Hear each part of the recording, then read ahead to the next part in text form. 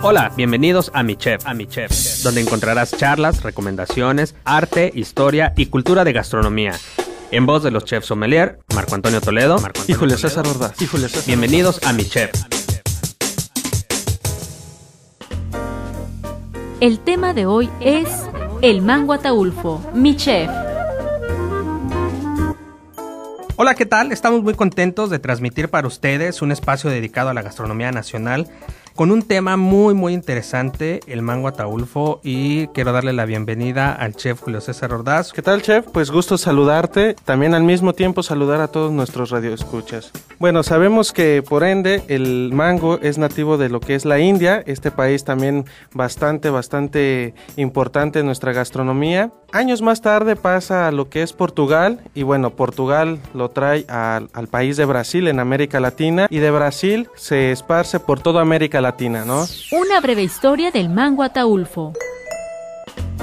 Hablando específicamente del mango ataulfo, fíjate que hay ahí una situación muy curiosa. En 1963 se realizan investigaciones sobre el mango del Soconusco y se detectan cinco árboles, fíjate nada más, bien poquitos, cinco árboles de esta variedad, ¿no? Que después, bueno, tiene el nombre del mango ataulfo en una finca de Tapachula precisamente propiedad del señor Ataulfo Morales Gordillo. De ahí, pues bueno, viene su nombre, ¿no? Y afortunadamente creo que su nombre va a quedar inmortalizado y eso es muy bueno. Y mira, se hicieron estos, estos estudios, estos análisis y se recolectaron algunas varetas y yemas de, de estas plantas y después fueron propagadas por todo el Soconusco. Entonces encontramos ya actualmente una gran extensión territorial donde se cultiva esta planta, ¿no? Y afortunadamente también es un elemento, un ingrediente que tiene denominación de origen junto con el café chapaneco. Así es que no solamente sabe rico, no solamente es un producto eh, que tiene cualidades muy importantes, muy interesantes eh, en cuanto a la culinaria se refiere, sino que también, pues bueno, va a estar protegido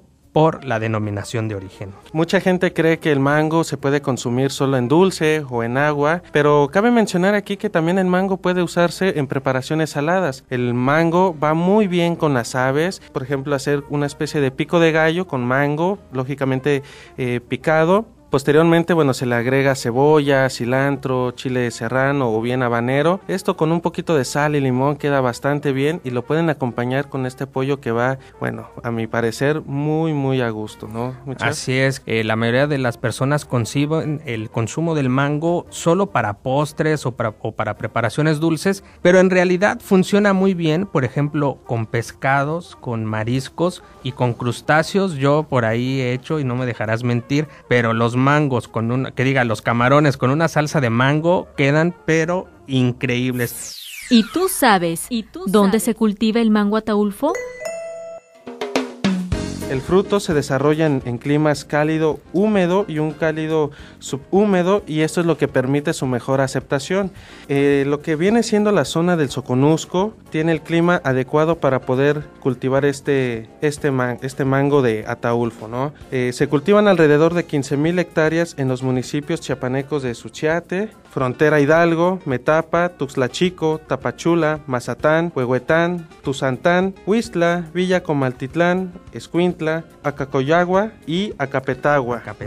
Y se produce alrededor de 176 mil toneladas anuales, que es una cantidad pues eh, bastante importante. Y aquí como dato curioso, cada árbol en un promedio eh, es algo muy chistoso, ¿no? Porque sí se maneja una gran cantidad de, toneladas de mango, pero como repito, dato curioso, el mango, el árbol como tal, da un promedio de 100 frutos al año. Además de todo esto, hay ciertas características organolépticas, ¿no? Esto quiere decir lo que vemos, lo que olemos, lo que sentimos. Entonces, eh, ¿qué características presenta el mango, mi chef? Bueno, las características son muy, muy sencillas. Por ejemplo, podemos citar la más importante, que es la que consumimos. La pulpa suele ser dulce, baja en fibra, tiene una, una jugosidad bastante importante. Y algo también curioso es mantecosa, tiene una suntuosidad como mantequilla es baja en, acidez y de aroma intenso. Puede conservar su, sabor incluso después de su madurez. Esto quiere decir que una vez maduro pueden pasar algunos días y puede conservar todo, todavía su sabor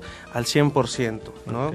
Eh, el hueso también se ve un poco gelatinoso, pero aún así la carne o la pulpa puede conservar todo su sabor y todo su aroma, mi chef. Sí, es un mango que tiene muy buenas características, ya empezando inclusive en un proceso de sobremaduración, ¿no?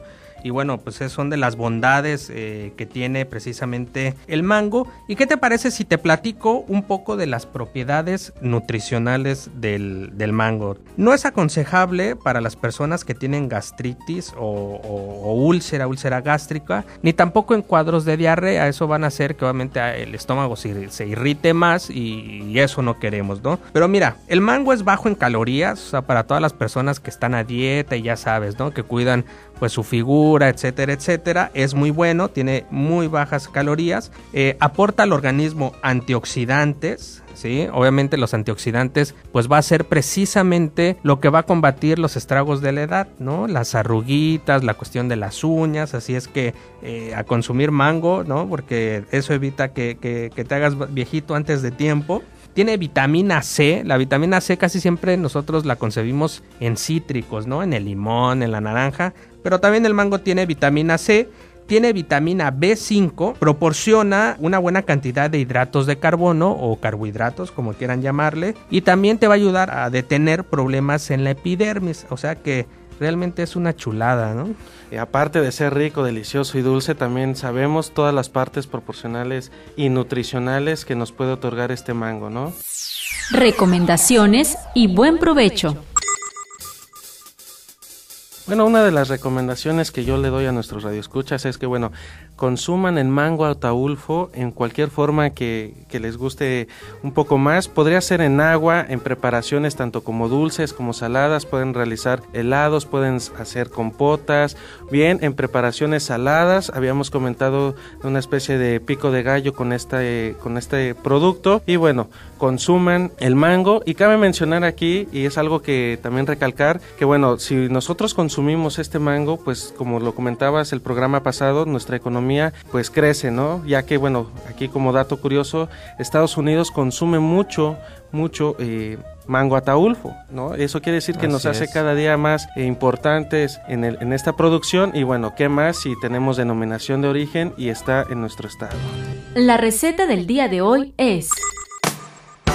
Pero bueno, ¿qué te parece si ya para cerrar con broche de oro nos dices una recetita así como que en forma eh, de mango. Aparte me parece que traes una receta ahí con este tintes bastante afrancesados, ¿no? Como es tu, tu estilo. Entonces no sé si podamos culminar precisamente con la receta, mi chef. Claro, la receta es parfait. Vamos a necesitar 200 gramos de azúcar, 2 cucharadas de agua, una pieza de huevo entero, 5 piezas de yema de huevo, 400 mililitros de crema batida y 250 mililitros de puré de mango. Procedimiento Habrá que realizar un jarabe con el azúcar y el agua a fuego lento, batir los huevos e incorporar el almíbar. Bueno, posteriormente habrá que mezclar la crema batida, puré de mango, agregárselo al jarabe y posteriormente refrigerarlo alrededor de unas 3 o 4 horas como mínimo.